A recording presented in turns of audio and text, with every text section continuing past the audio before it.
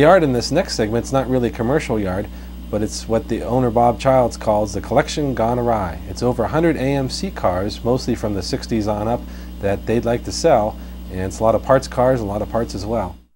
I'm Bob Childs. This is, I guess we call it Rambler Heaven. It's not really a business, it's just a hobby that got out of control. This is our Hercules. It's cat backhoe. We use it to move things. So if you need parts, lift things and get it up so you can get to it. The Volkswagen bus sticking its nose out, we bought that in England when we were over there, and that's a 69. There's a 68 Ambassador we call Goldilocks. This is a uh, 69 Ambassador. Odometer says 7,000 miles. It's four doors. It runs and drives fine. It's probably going to find a new home. Back there's an Eagle. Back here in this pile is a 56 Jeep pickup. It's turquoise and white. Got an AM radio. That means it's a fully loaded Jeep. The big barn we built probably in the 90s.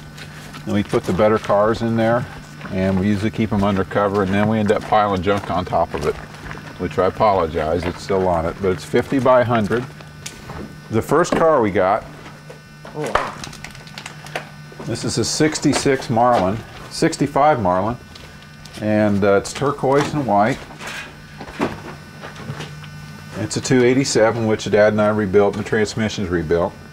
Um, we went to all of our car shows in this car. We probably got 30,000 miles just going to car shows on this car. Um, updated brakes.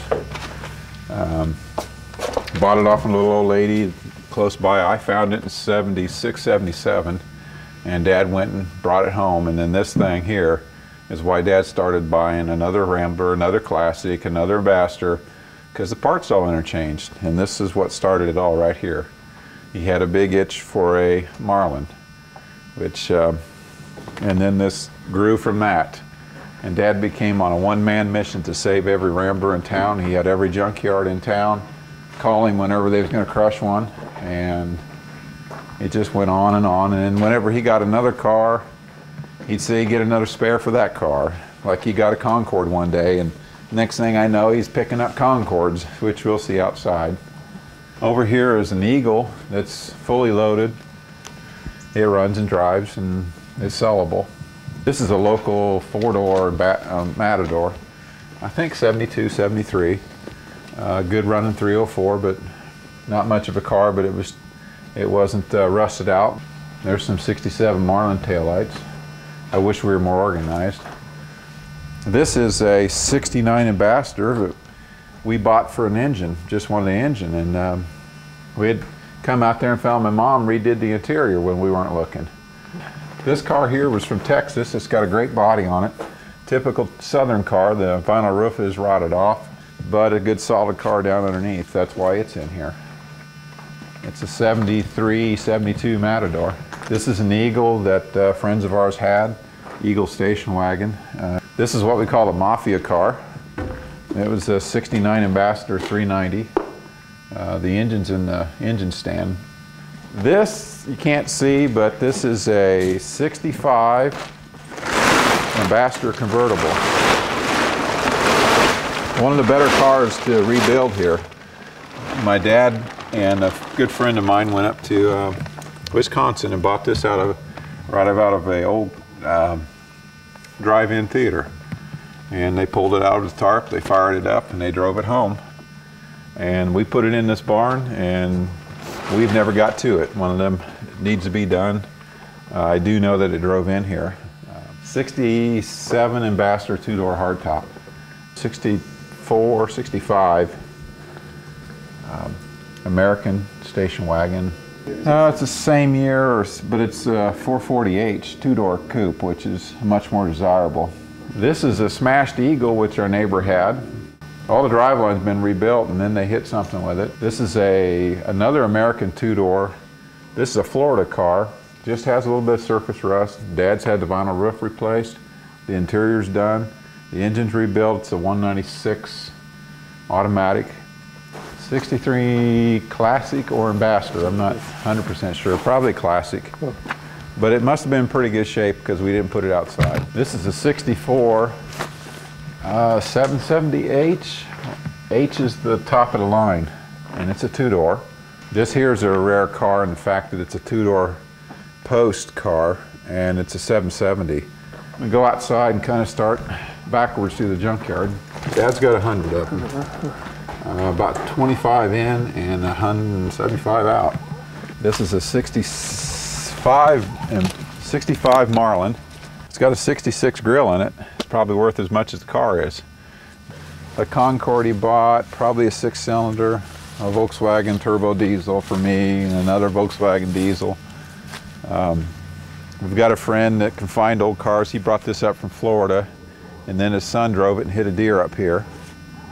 Uh, this 65 Classic here was all rebuilt, 327 in it, and uh, sitting outside of the guy's shop, body shop, and our mechanic shop, and he got smacked in the rear end. They totaled it out, and he never did anything with it. We took this old Matador station wagon, painted it silver and, and blue. It was already blue. Put in a real nice interior and sent it to my sister in, da in Dallas, Texas. Well, that ended up becoming a very popular cowboy station wagon. Everybody said, "Oh, that's cowboy Dallas cowboy colors," so it worked out. There's some Jeep front axles out there, and they're out of Wagoneers. This station wagon right here is a 63 Classic, and the reason we picked it up is it's got the twin stick, which is three speeds on the floor, and another stick next to it for the overdrive in and out, which is a rare option. The bad thing about it, it's got the aluminum six cylinder, which probably doesn't run.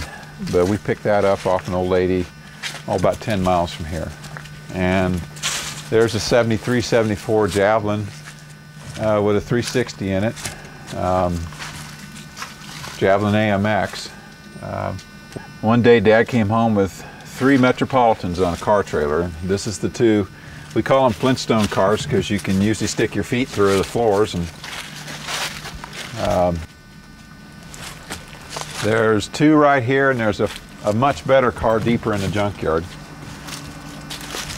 There's a 232 uh, four-door uh, Rebel, and that I think is a Matador with a six-cylinder in it.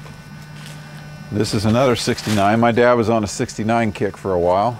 There's a 71 Pierre Cardin purple Javelin. The interior is missing. This is a 360, 73, 72 Ambassador, two-door hardtop. I believe that Ambassador there, we bought it, it had a 401 in it, and the engine's been sold. Um, but I remember driving that home with a big cloud of smoke, and actually it didn't have brakes, so my dad followed me in his car with brakes, and with the chain, he was my brakes and I was his go power. Matador station wagon with a six cylinder. This is a classic 65 770 four door. Here's another 65, 66, pretty well picked over Marlin, but you got the rear quarters and you got the rear, the rear shape if you had one damaged. Um, this turquoise uh, four-door Ambassador over there, that's got a high compression 360 in it and uh, four barrel and that's the engine that that or the 401's the engine that all the AMX people want, all the hot rod guys need and want.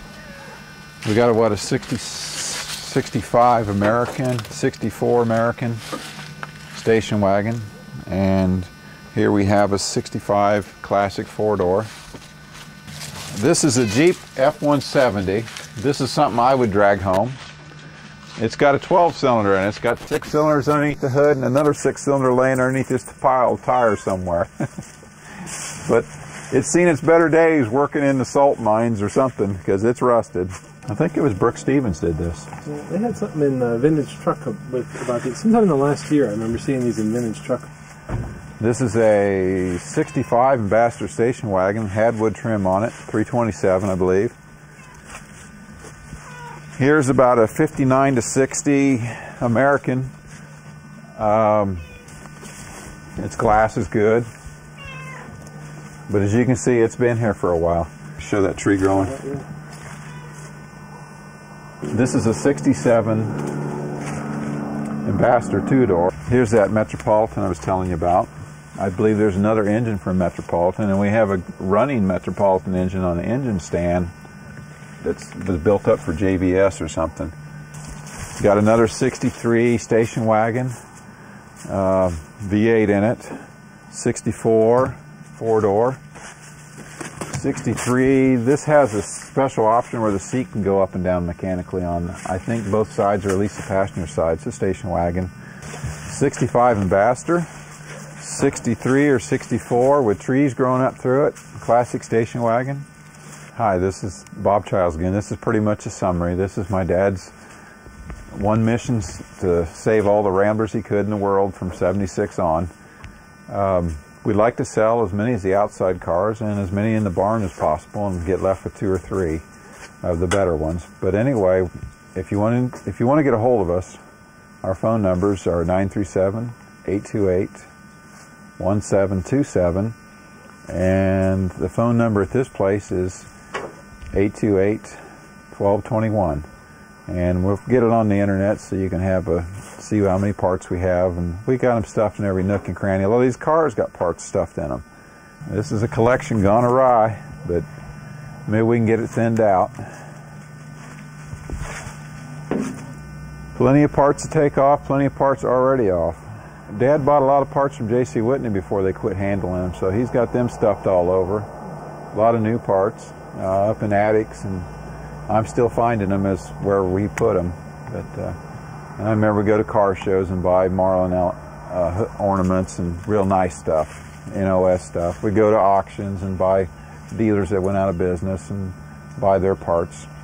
This is a pile of, or they're setting off the ground, but it's mainly AMC engines. I think there's one Ford 312 in there out of a Thunderbird, but 304s, 360s, 258s, 232s, flatheads, all AMC. We've got rebuilt engines sitting inside the barn, up in the attic. We've got transmissions on a rack in there.